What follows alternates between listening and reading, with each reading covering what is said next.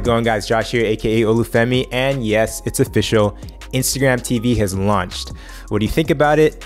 Uh, you know, there's been a lot of excitement from one area. Um, there's been apprehension, uh, mainly in my court. I'm not going to talk about all the opinions that I have and maybe other people have regarding it yet. I just want to give you guys a brief overview as far as getting right in and uploading your content. In my opinion, I feel like it doesn't matter what you think about Instagram TV right now because Instagram is such a massive platform. Whether Instagram TV is the next big thing or it dies at the end of the summer, I'm in Australia, so at the end of the winter, um, it's still something that I feel like we all need to be engaged in and be uploading content to so that we don't get left behind. Now, in my opinion, I feel like the interface is a little bit clunky right now. It took me like a, a good few minutes to figure out how to even upload a video, but I'm gonna just literally go over it real, real quick. And by the end of this video, you will be in the know. All right, guys, we're here in the IGTV interface. You can take a look. Um, it took me a little while to actually figure out how to use this, but it's separated into a few different tabs.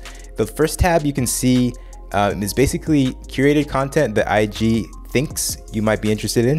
You can click on any one of these videos and click off of it and click into it. Um, if you want to go back to the homepage, you're going to go back to browse and you can go to the next tab, which is following. This is going to show you content based off of all the people that you're actually following on Instagram. You go to popular. Popular is a bunch of content that's just popular in the IGTV world and then continue watching is the last tab. And that's basically content that you've watched before that you can continue watching later. So um, you can search for any type of content creators that you want on IGTV. It's interesting, you can't really search for content right now, you can only search for content creators. So that's something that may be updated in the future. Um, and then if you wanna check out your profile, you click on your profile picture up on the right corner or on the right side of the screen.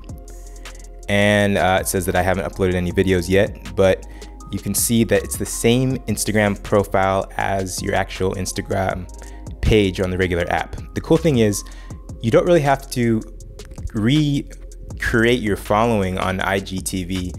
Your profile is the same as your original Instagram profile. So that's pretty cool. Okay, I'm gonna go back to browse to go back to the home screen. Browse again. And um, let's actually click on a video. We're gonna click on this video right here to actually see the video. You can click off onto the video and you can of course leave comments. You can check some of those. You can go and leave likes. I'm gonna like that video. Um, and if you click on the share, you can see that you're only able to actually share this video with other people within the Instagram app right now. And again, that may change later. So that's the basic interface. In my opinion, I feel like it's a little bit clunky. It wasn't quite as in intuitive as you would have thought it would have been.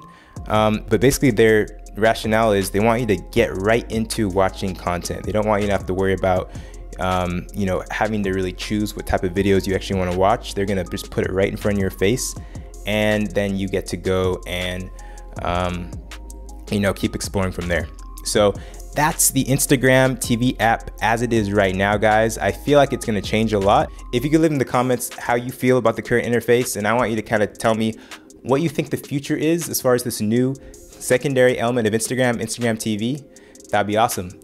As always, guys, thanks for watching and keep it chill.